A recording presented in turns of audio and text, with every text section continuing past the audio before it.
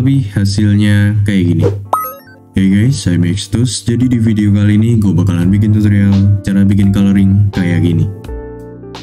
Oke langsung ke tutorialnya aja. Pertama kalian siapin PNG beserta backgroundnya kayak gini ya. Jadi ini gue pisah background sama karakternya. Kalian duplikat karakternya dua kali. Jadi ada tiga karakter. Yang paling belakang sendiri kalian kasih exposure Ubah ke koma 25 Yang bagian tengah kalian tambahin drop shadow. Kalian ubah ke shadow only. Kurang lebih kalian geser ke 80 Di bagian softness kalian ubah ke 100 Di bagian bawah sini switch modenya kalian klik Non ini kalian ubah ke alpha matte Di bagian backgroundnya kalian tambahin exposure kalian ubah ke minus 1.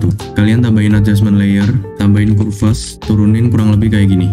Tambahin hue saturation, kurangin sampai minus 100, tambahin Gaussian blur, kalian checklist. Di bagian blurriness, kalian ubah ke 50. Habis itu kalian tambahin exposure, kalian ubah kedua, tambahin deep glow, lalu kalian blending mode ke screen. Dan kurang lebih hasilnya kayak gini.